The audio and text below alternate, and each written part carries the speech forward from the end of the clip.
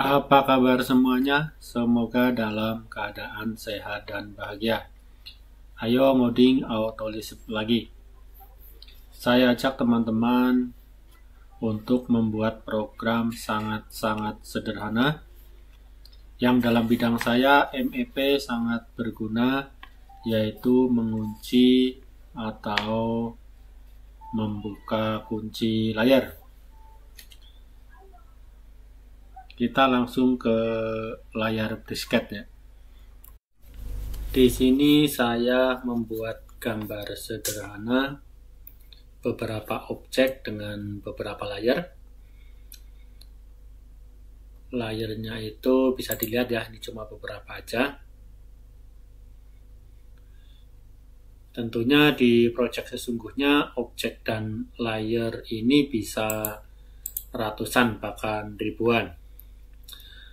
Untuk mengunci layar sebelum mengenal Autolisp saya menggunakan ini ya, menggunakan kotak dialog layers seperti ini. Misalnya ingin mengunci semua, saya gunakan shift ya. Ini kemudian saya kunci. Untuk membuka lagi begini. Kemudian bisa juga dengan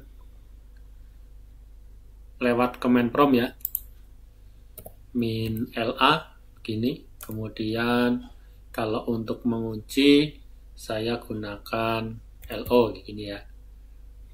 Enter kemudian tanda bintang atau asterisk enter.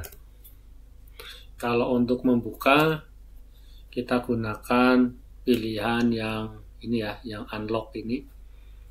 Uh, atau untuk yang AutoCAD atau brisket yang sekarang mungkin tinggal klik di sini ya. Bisa juga. Tapi saya udah kebiasaan dari dulu itu mengetikkan opsinya di sini ya saya ketik. Uh, kemudian sama ya bintang. Enter Setelah mengenal Autolisp, saya coba perintah-perintah sederhana ini saya buatkan lipsnya ya. Misalnya seperti ini.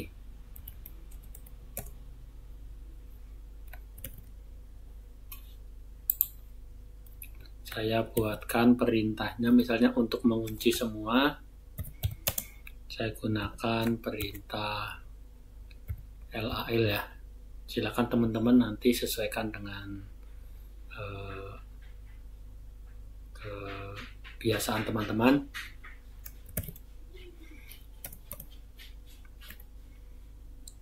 Ini adalah lip yang sangat sederhana ya tanpa membuat variabel.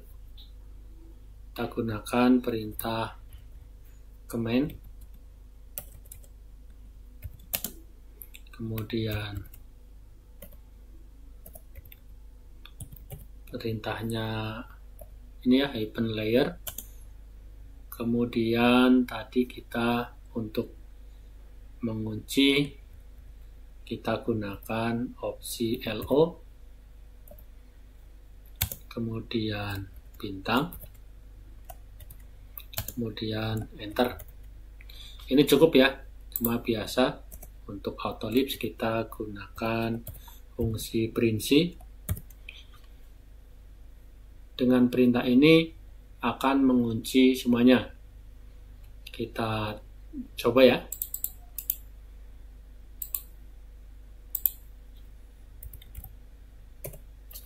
Tekan ya, langsung mengunci semua. Untuk membukanya, kita gunakan di sini perintah misalnya oh gini ya ual kemudian ini opsinya tinggal diganti dengan oh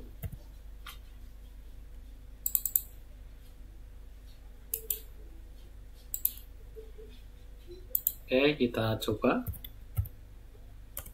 Perhatikan ya, langsung kebuka semua.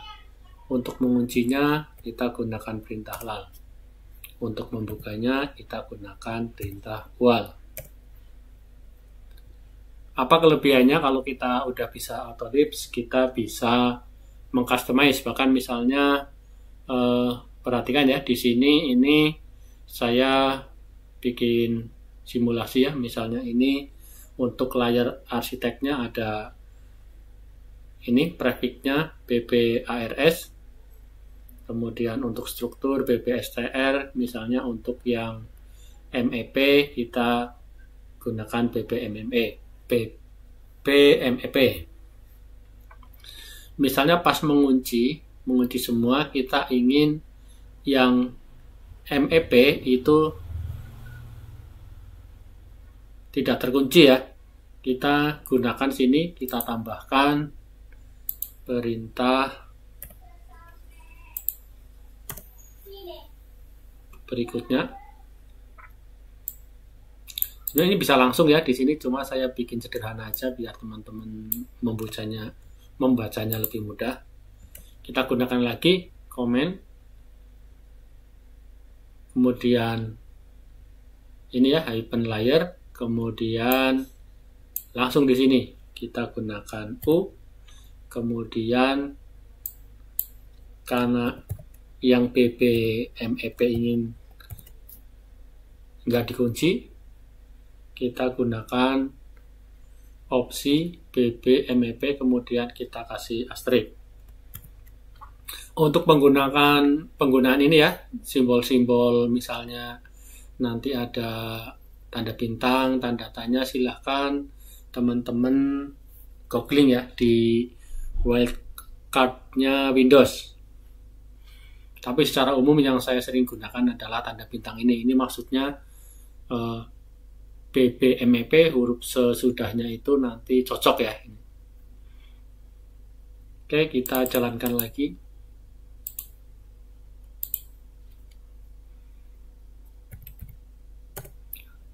Perhatikan ya, ini yang layar ini ini adalah yang layar MEP ya ini BBMEP di sini bisa dilihat itu enggak terkunci karena kita ingin membuka semua. Oke mengunci lagi tanpa mengunci yang MEP kita gunakan fungsi LAL oke teman-teman saya kira ini ya lips yang sangat sederhana tapi bagi saya ini sangat membantu ya pekerjaan saya ini untuk mengunci dan membuka jadi lebih simpel kemudian nanti mungkin berikutnya akan saya coba gimana caranya kalau ingin mengunci dengan tinggal klik entity-nya ya nanti untuk video berikutnya. Silakan teman-teman dicoba. Kalau ada masalah kita diskusikan. Semoga bermanfaat. Terima kasih.